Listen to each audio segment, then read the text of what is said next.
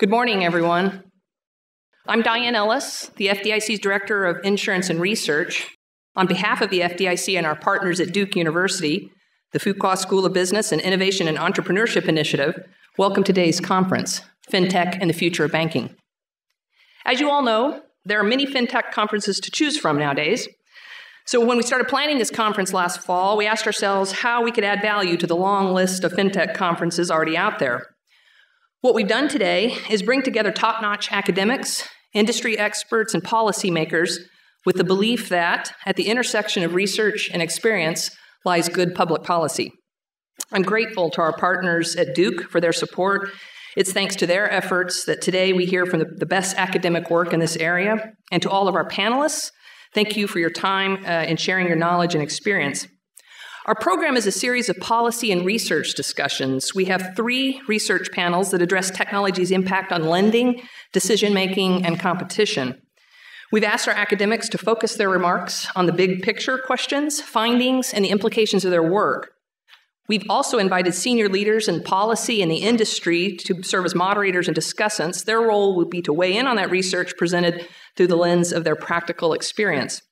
Mixed in with the research panels are two policy discussions. The first will focus on regulatory innovation, and the second will provide insights from experienced venture capitalists. Uh, these two groups, regulators on one end, investors on the other, bookend what probably most people think is the continuum of thought on financial innovation. So we look forward to hearing the similarities and differences. In addition to these great research discussions, you also will hear perspectives from our chairman, Jelena McWilliams, Secretary Steven Mnuchin, and Comptroller Joseph Otting. I believe we've assembled a great program for you today, and we are equally pleased with you, the audience. I fully expect that some of our best dialogue will arise from the many high caliber representatives from industry, policy, and academia that are here today. So, allow me just one minute for some housekeeping mat- uh, matters. There are three stationary microphones located throughout the um, room. When the time comes for audience Q&A, we ask that you line up behind those mics and we'll have a staff person there to assist. Inside your package, you can find a logistics page with some of the most important information, like where the Starbucks cafe is located, as well as the restrooms. If you need assistance, please locate a member of our team. They have badges with navy blue ribbons on them. So we have plenty uh, ahead of you today, uh, so we'll do our best to stay on schedule. So without further delay, I'd like to introduce the FDIC chairman. Since coming to the FDIC almost one year ago, Chairman McWilliams has made understanding and adapting to technological innovation one of her top priorities. It was just last fall when she said, Diane, I want to have a FinTech research conference. So here we are today. we are pleased that she's given us this opportunity to hold this important discussion uh, and for promoting research inside and outside the agency with conferences like this one. Please join me in welcoming Chairman McWilliams.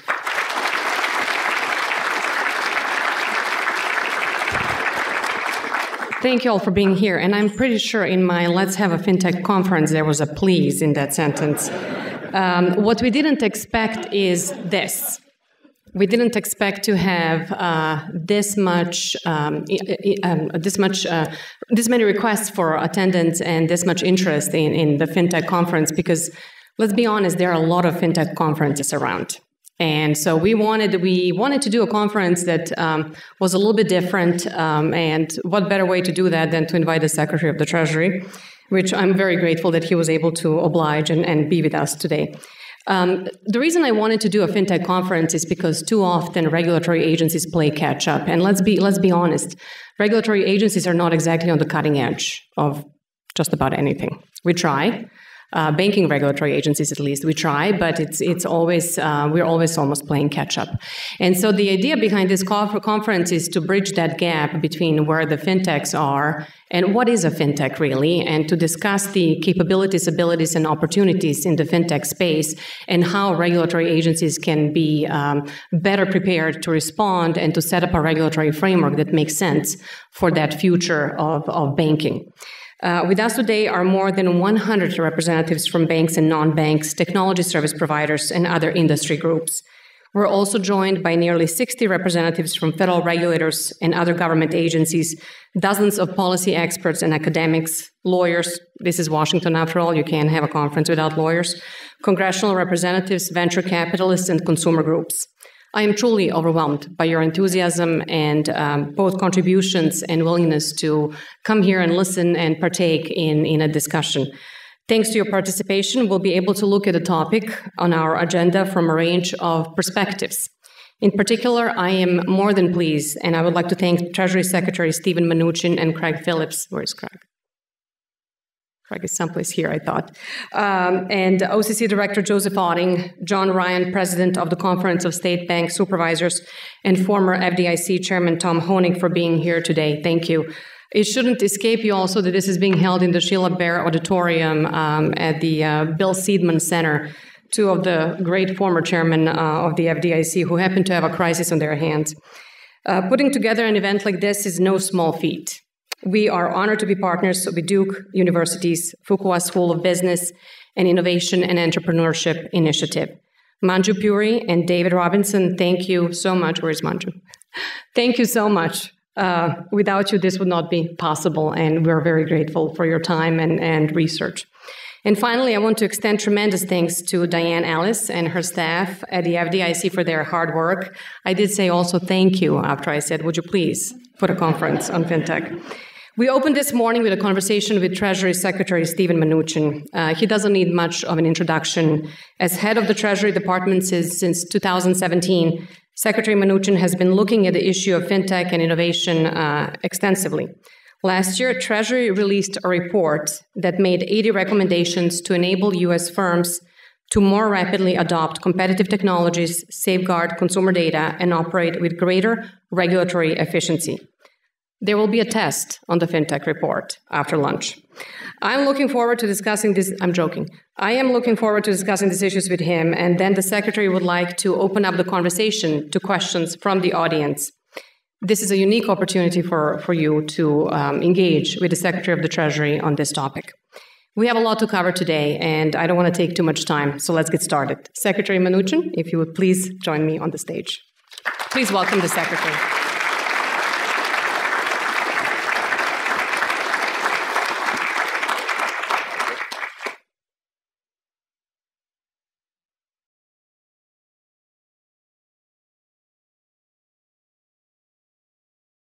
Know who the fintech guy is. He's like, turn your mic on. so it's a privilege to have you here, and thank you. I know how busy you are. Um, it's a pleasure to be here with you. Thank you. The evolution of technology in banking is one of FDIC's highest priorities now because we believe there is a way to help small banks with their compliance regimes and being more competitive. And before we jump into your views on this topic, um, you have a very unique background that sets you up to be uh, more than credible when you speak on this topic. So, would you share with us a little bit about your private and public experience? Um, to, to, date? Sure. Well, I, I, first of all, I, this is basically my fourth career. Um, I think each career progressively prepared me for the next career, and, and I never would have anticipated the, the each each one but uh, I started in the investment banking and trading businesses where I became uh, the, a CIO. So I, although I wasn't trained as a technologist, I became a technologist. Uh, I then started my own investment business. I then bought several banks from the FDIC. So I hope there's no conference rooms named after you. We don't need a, any crisis under your leadership. They'll, name, a park, they'll name a parking lot uh, after McWilliams parking lot. After exactly. And uh, now my fourth career in, in government, I think the best part of the, the training for this job was I traveled with the president across the country for a year during his campaign and went to all different parts of the country I had never seen and met with literally tens of thousands of big business, small business, and helped de- develop the economic plan. Thank you. Um, there was an executive order and the core principles set out by the president uh, with a lot of instructions and recommendations to the independent agencies in Congress on how to look at fintech and, and uh, banking. Uh, what are some of the most important big pictures that, that you grasped from that research and, and in the report? Yeah, for, first, let me just tell you, you know, we, we did a series of reports. Uh, Craig Phillips led this for us on, on different issues. And uh, although coming into this, we had certain views. Um, we had certain experience. We had certain views. One of the things that I thought it was very important that we did is we reached out on a broad basis and got a lot of input on, on these different issues. So we didn't want to come in. So sometimes I think people come in, they have a view, they write a report to justify the views. We, we came in and we really wanted to do a lot of research. I, I think on in fintech, the big issue is really around innovation, making sure that we had the right balance of promoting innovation in this environment and in the regulatory environment. Thank you. Uh, one theme uh, which is important to me as well is the fintech's potential to advance financial inclusion. And I know you had a large chunk of the report focused on that. And we'll have research later today presented uh, that suggests that the use of alternative data could expand access to those with little or no credit history. At the same time, such data sources may not ref- reflect performance through a credit cycle and could raise other issues. What is your view on how we should move forward? Look, I think I think it's great you're doing a session on this, and, and I look forward to this. I, I think financial inclusion is a very, very important issue. It's still shocking to me that we have as much of the population that is underbanked. And uh, you know, I, would say anything we can do with that, particularly with technology, is, is something that I think is an important thing to focus on. Thank you. And for the FDIC, it's one of our uh, uh, um, focus areas. Um, can we talk about data aggregators for a second? Because yep. they give us an ability to um, to look at data and the consumer and credit and decision making in that space much more quickly, but there are privacy and um, other security concerns for uh, who owns data and how that, that is being done. What are your thoughts on, on data aggregators? Look, I, th- I think data and privacy, n- not just in the financial sector, but in a broader sector, is is an evolving issue and, and a very important issue. And, and really, I think there's there's multiple aspects of this, but I would just comment on on two parts of it, which is, I think from the consumer standpoint, having your data aggregated and being able to allow other people to ha- access that data is is important. I think you, you have lots of different sources. I think it's a very important thing. On the other hand, I think the consumer, rightfully so, expects a level of security and a level of privacy around that.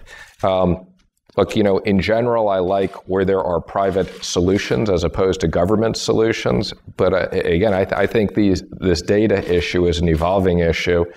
Um, around the world. So, I mean, one of the things I talk a lot about when we're negotiating around the world on trade is localization of data. We, we are not fans of localization. We think we live in a global world where data should be able to reside in different locations as long as it's secure. But th- this, this is a complicated issue. And, and again, I would say, you know, my view from the consumer standpoint is it should be very clear and very simple if your data is being shared, who it's being shared with. And I think, you know, s- kind of that's it's kind of a complex issue, but that's something I think is very important.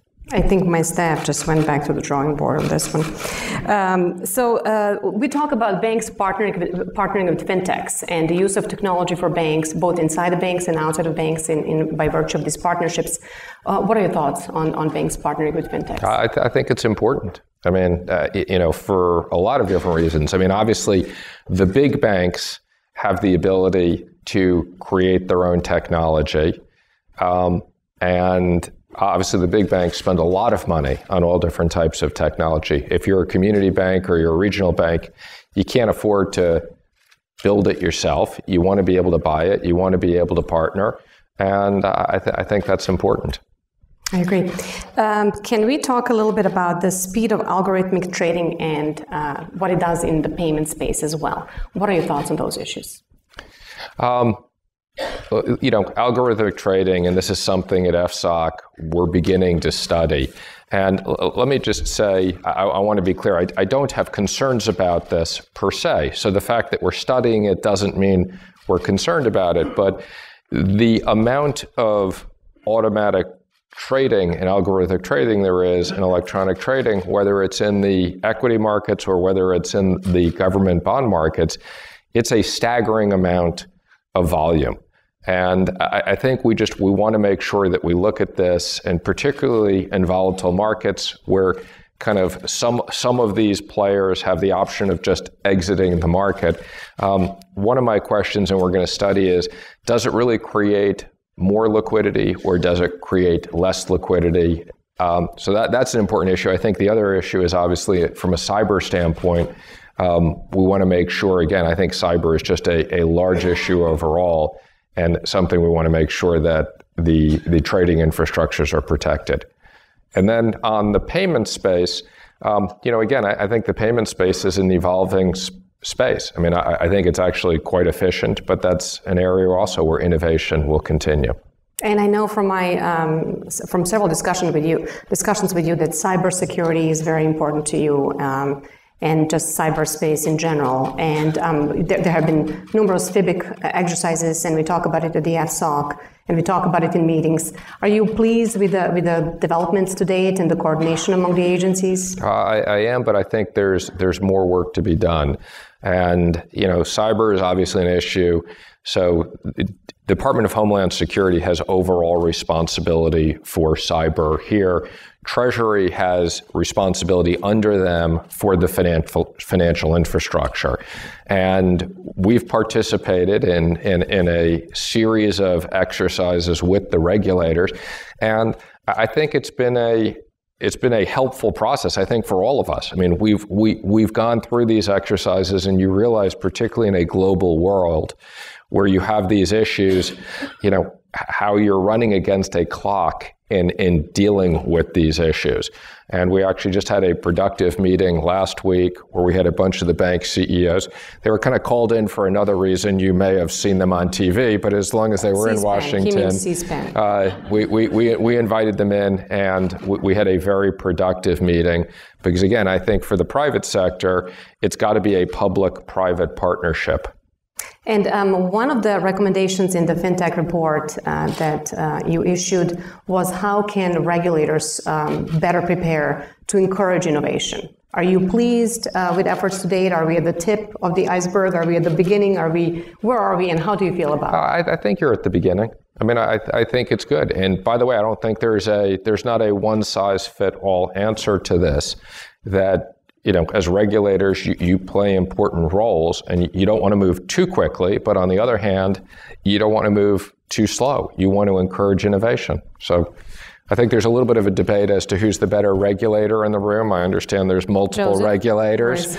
I won't go there, but uh, I think you're all doing a great job. It's an inside joke. I invited uh, OCC comptroller uh, Joseph Otting, who's a good friend of mine, to uh, speak today. And I said the only way you can speak is if you start by saying that I'm a better regulator. we'll, we'll, see how his 10 minutes go. Um, so let me let me ask you this, and then I want to I want to turn it to the audience to make sure that we get we have input from them as well. Um, you run a tremendous agency and there are several agencies under treasury and one of them is irs where you know innovation and use of data can be tricky mm-hmm. uh, given the nature of the agency and all of that what are your thoughts on that Sure. So, uh, you know, the IRS is something I've spent a lot of time on. Matter of fact, yesterday they had, uh, I think for the first time in, in, a long time, 300 of their senior executives in. And one of the things I talked a lot about was technology. So we've just worked with them on a six year modernization plan. You may say, well, why was it six years? We couldn't get it, everything we wanted done in five years, and I think 10 year plans are just too long to, to enact. But uh, we, we've underinvested significantly in technology at the IRS, and it's, it's a major priority. And, and one, we want to have better technology with consumers, with taxpayers. We need to be able to deliver services, uh, we, how, how the IRS does business, and also just from a cyber standpoint, we're probably the most attacked network in the world. So it's, uh, it's a big part of what we're going to do with them going forward. So, may I ask you a fun question? Uh, absolutely. All right, so you have had a lot of experience in the private sector. Uh, one of them was making movies. What is your favorite movie? So that's a really good question. But now I'm a more experienced political person. I was asked this early on when I took this job, and despite my giving warnings that I wasn't promoting a film that I had an interest in, I was accused of promoting a film. So, being the better politician at this point, and it's open press, I'm just going to say go see films in general, and I'm not going to tell you my favorite. Go see American films. I think that's a code word for something, but for now we'll use this as a code word to open up uh, questions to the audience.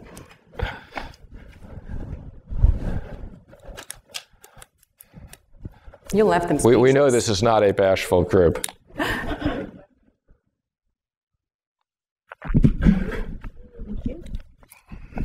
Greetings. Uh, I'm a college professor, Virginia Tech and Fabulous. Florida State. And I was interested in your first comment that you were so surprised at the number of unbanked in America. And I wondered, uh, what is your explanation for that? Well, since you're the college professor, I think you should give us the explanation because, no, I, I, think it's, I don't think there's any one answer, to be honest with you. And, and it's something I'm still surprised by because we've been talking about, when I say we, not just me, the industry has been talking about this for a long time. The regulators have been talking about this. Um, you know, kind of, uh, I, th- I think there's a there's no single one reason. If there was one reason, it wouldn't be the case. So I, I think this is something that, from all of our standpoints, from government, from private, from fintech to college professors, we need to figure out the multiple reasons and attack it one by one. And I, if I were a business person, I would tell you um, I would try to promote my um, our FDIC study on unbanked and underbanked. But since I'm not, go see the study on unbanked and underbanked. Thank you. Hey there, uh, Jackson Mueller with the Milken Institute Center for Financial Markets. Uh, thank you to both FDIC and, and Duke for putting this event together. It's uh, fantastic. Uh, my question relates to the Treasury report back in that feels like 10 years ago, but back in uh, June or July, I think it was released on, on FinTech, 80 plus recommendations. I'd be interested in are there a few recommendations or a recommendation that Treasury is really focused on at this point, and will we see kind of further developments uh, from Treasury as it relates to some of the recommendations? You know, I mean, first of all, thank you. And uh, I know at Milken you do a lot of great work across the board on, on a lot of these issues.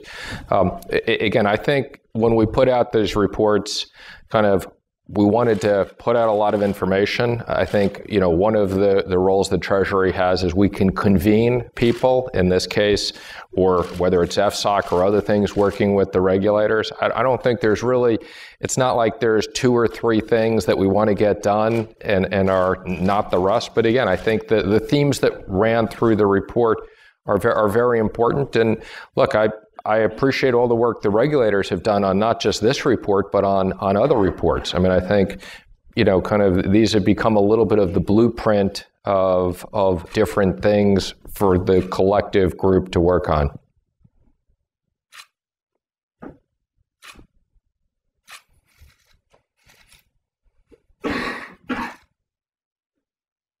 Thank you. Uh, Dan Geller with Analyticom. Secretary Mnuchin, um, in the last financial crisis, we were pretty much caught by surprise. And what do we have as far as an early warning system for the next recession? Well, there's two, two, two, two different issues because I think you know financial crisis and recession. You you can have a recession without a financial crisis, and you know you could probably also have a financial crisis without a recession. You know, l- let me first comment on the recession, then I'll, I'll comment on the financial crisis. Um, I think the U.S. economic environment you know, and I'd say I have visibility for call it 18 to 24 months. I think the U.S. Uh, economic environment is, is really the bright spot around the world. And what I see from speaking to all my other finance ministers, you know, Europe is in a real slowdown. So there's no question whether it's Italy or Germany. Italy's growth has slowed down a lot. Um, China has slowed down. I think it's not quite the concern that it was in December, but it's clearly slowed down. And I think whether it's a result of our tax reform or other economic issues, you still have a lot of money coming back into the U.S. So I think I think the U.S. economy looks quite productive. Um, now, going to the the so I don't believe the traditional predictors of recessions. People will say, "Oh, look at yield curves," and you know, people would ask me, you know, what I, do I get worried about inverted yield curves? And the answer is not at all, because the yield curve is just the market's interpretation of where interest rates will be. So um, sometimes markets are right, sometimes markets aren't right. I would say on the financial crisis, I mean, if there was a great predictor of a financial crisis, we'd never have a financial crisis. And, you know, I, I, think these things are always much more obvious in hindsight than they are at the time. So I think the important issue is from us to learn from the issues that we've experienced before and try not to have those same issues developed. So you know, I, the next crisis isn't going to be like the previous one. Obviously, from the banking standpoint, banks are very, very well capitalized today. I think kind of the real estate issue, you know, kind of a, you know, I think when you look at the real estate crisis, there was a lot of blame to go around. Um, and I think on the real estate basis, we've done a lot of work. One of the things I, am working on uh, is trying to figure out whether we can get housing reform done. And when I say housing reform, it's not just GSE reform. Um, it's a combination of GSE reform, figuring out if we can get Fannie and Freddie out of conservatorship, but also making sure that we don't end up with too much risk at FHA. So we're working with HUD, uh, and you know I'm somewhat hopeful that in the next six months we can try to get something done on a bipartisan basis. And I'll be happy with the McWilliams parking lot at the FDIC if we don't have a crisis. Go ahead. Could you comment on the administration's policy about the further consolidation or consolidation of independent regulatory agencies? Question one. Question two is that the administration issued a policy statement about the request that, in, that the agencies um, submit their proposed rules for approval before going forward with them the intent of that policy vis-a-vis independent agencies. So, I mean, on, on, the independent agencies, I think the first question, I, assume it was geared to financial agencies and not agencies across the board. Um, I, I, don't think we, you know, I don't think we have a view of any consolidation at this point of the independent agencies. I think that they're they're functioning well. Um, you know, I think there was there's this is something that people we looked at early on uh, whether there was a need and whether there was efficiencies and I, I, don't think there's anything particular at the moment that is is top of the priority. And then your second question had to do with proposed rulemaking. Is, is that right? Yes request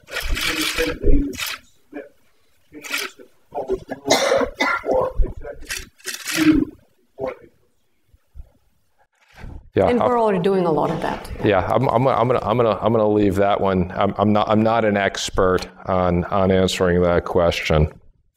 I'm going to leave that one alone too. I mean, I, I, would just say I, I think I, I, will make a broad comment on, on rulemaking. Okay, and this is again not just geared towards. Um, we are a favor of putting things out for public comment and making sure that it, you know, kind of there is a robust process on rulemaking. Uh, thank you, Secretary Mnuchin and uh, Chairman McWilliams, for taking the time. Uh, my name is Dipanjan. I'm from Capital One. Quick question for you guys. Um, you mentioned uh, about innovation in the payments uh, space. Um, as I look at sort of some of the things that's happening in Europe, like you know open banking and PSD2, um, even sort of the regulatory environment and the ease of getting sort of banking charters, uh, do you think some of these things will migrate over to Europe, especially things like open banking in PSD2? And second part is uh, you know, generally, if you sort of zoom out, do you feel like, you know, the level of innovation in these areas is a little bit like we kind of play a little bit of catch up in the U.S. compared to Europe in these areas? No, I don't. I don't, I don't think we play catch up uh, at, at all. I mean, I think you know, in general, we have more evolved markets. And when you have more evolved markets, you tend to want to be a little bit more careful in, in how they change. I mean, I, I, I think the US is really the leader in really uh, a, a, lot of technology and engineering and everything else. There are big markets where you know, kind of there's nothing, and it's a lot, it's a lot easier to start these things, um, and whether it was China or India or, or, or, other things when you're starting from scratch. Now, I will, I will make one comment Okay. And this is something we need to balance on, on innovation. So, uh, th- there was a lot of things I had a lot of experience coming into government with. The one area I had no experience, and I'm happy to say I had no experience, and I kind of got a crash course PhD in, was sanctions. So at Treasury, we manage all the sanctions programs, and, and I probably spend half my time on this. And sanctions are very important.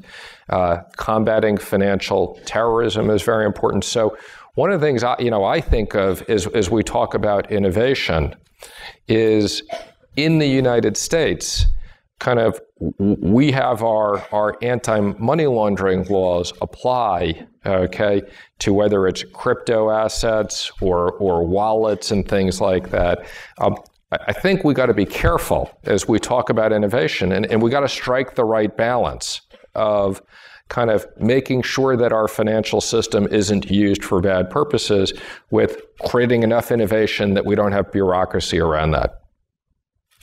Thank you. Uh, good morning.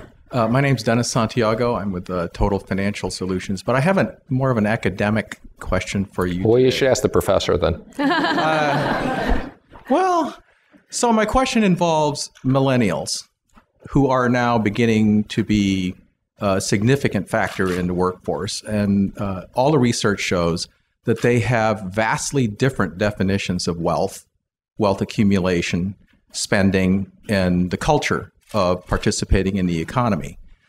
So my question is, uh, you know, uh, uh have you seen from a uh, agency perspective the impact of this growing proportion of the U.S. population and its impact on the economy? And I'm not asking for an answer today because I know it's a big question, but to what degree have studies begun to look forward to this? Because this is, it strikes me as something that we're going to have to deal with over the next decade or so. Well, it's, it, it clearly um, it, it is a group that's had a big impact on the economy. Um, I don't think we've done any studies per se, but I'm, I'm sure there are studies out there. And look, on, on, on all these issues, uh, I think they're important issues. And again, we, we talk about uh, underbanked. You know, another issue we focus on a lot is retirement savings, and what what can we do to continue to encourage retirement savings in, in, in the retirement systems? I mean, the one thing about being the Treasury Secretary, I, I have I get involved in a lot of things across the government. yesterday, I was at my PBGC board meeting.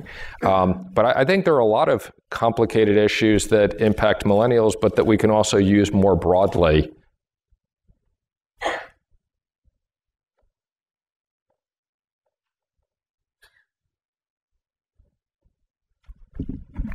Hi, uh, Chairman McWilliams, Secretary Mnuchin, Lisa Raab from Stratosphere Advisors.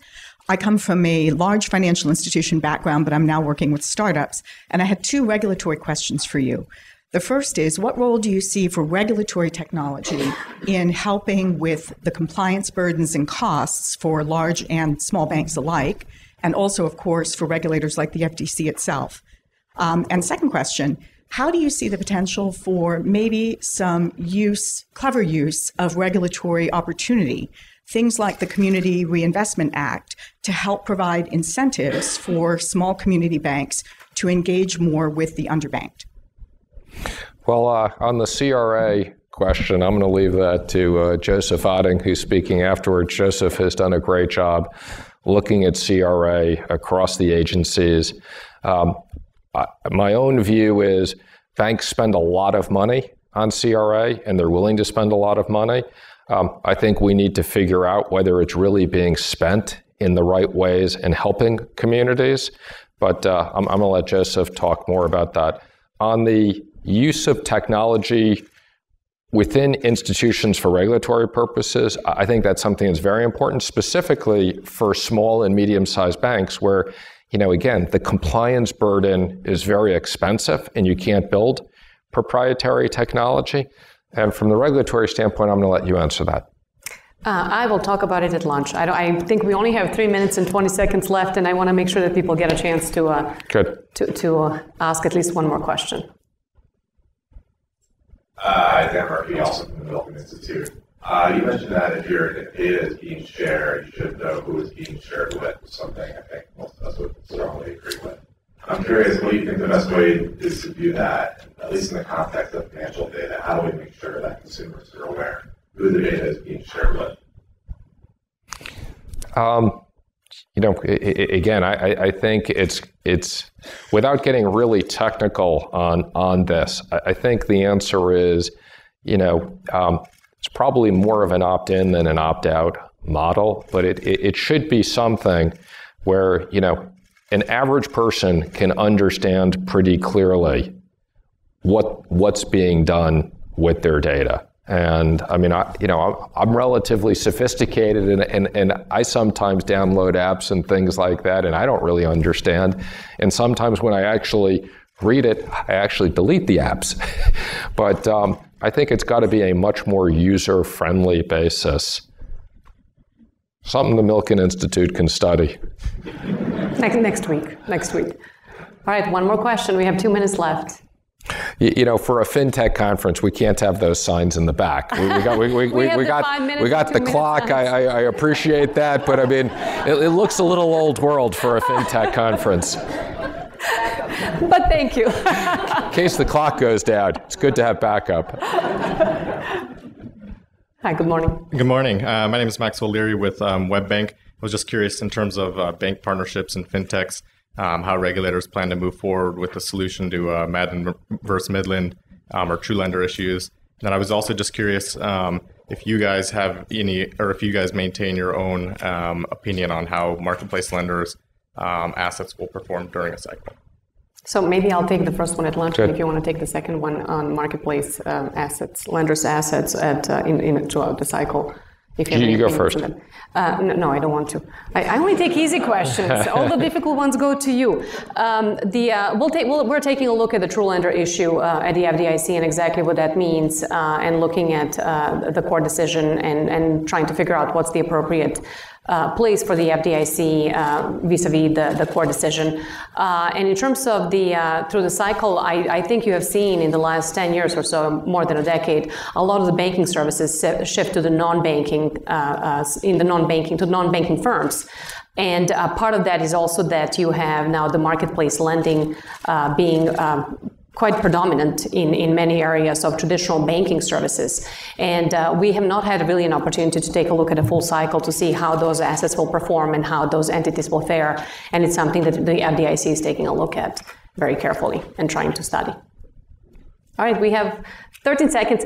Aaron, uh, you know what? I know Aaron Klein from Brookings, so I have to give you those those 12 seconds. Go. Th- very, very quick. Thank you, Jelena. Uh, Treasury Secretary, we're following up on a prior question, uh, England developed real time payments 12 years ago. You can cash a payment faster in Portugal from Latvia than you can from Kansas uh, to Montana. Your report very eloquently urged the Fed to move on faster payments, but it's been almost a year since your report, 12 years since England has done this. Uh, why aren't we going any faster in our payment system? Never mind, your 12 seconds have been revoked. the, the Fed has lots of priorities. You, you'll, you'll have to follow up with the Fed. Thank you, Aaron. So, Mr. Secretary, thank you. Thank you. This is Pleasure phenomenal. It is not often that a Secretary of the Treasury will come to the FDIC I'm during always peacetime. happy to come back. So, thank you for that, and please uh, welcome and thank the Secretary with a round of applause. Thank you so much. Thank you. Thank you. Right.